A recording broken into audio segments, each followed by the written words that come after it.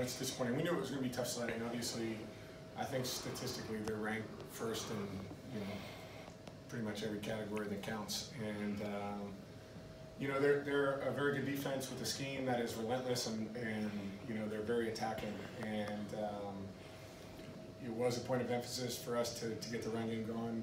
We didn't do a good enough job. We didn't execute as well as we needed to.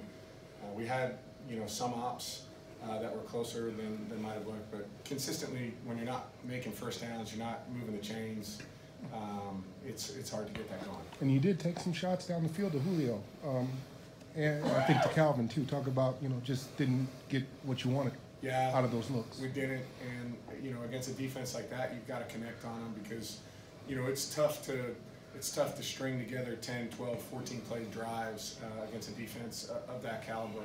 So when you can create some explosive plays, uh, it gives you a much better chance of scoring. And we weren't able to, to connect on them, and you know that that made it even more difficult to overcome. After the uh, opening drive, you all came out, went down the field, got your field goal. Uh, what adjustments did they make to, to kind of slow things down for you guys? Well, I think they continued to pressure uh, throughout the day, and uh, they did a nice job with, with it. Uh, we knew they were going to do it you know, coming into the game, we had a plan for it. We did not execute our plan uh, the way that we needed to. And at the end of the day, it's, it's really as simple as that. We needed to do a better job than we did.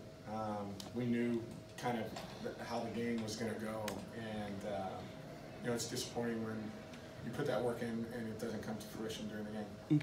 How do y'all uh, try to keep things together here with four games to play? Uh, in a four-game losing streak, and you know trying to get get your spirit together, go back out here and fight uh, next week against Green Bay. Yeah, we've got to you know we've got to get back to work. We've got to find a way to get a win. And you know, as far as staying together, I think we've got a good group uh, of men in our locker room, um, coaching staff, players, front office, uh, that you know are willing to work. We need to do our jobs better than we've done up until this point.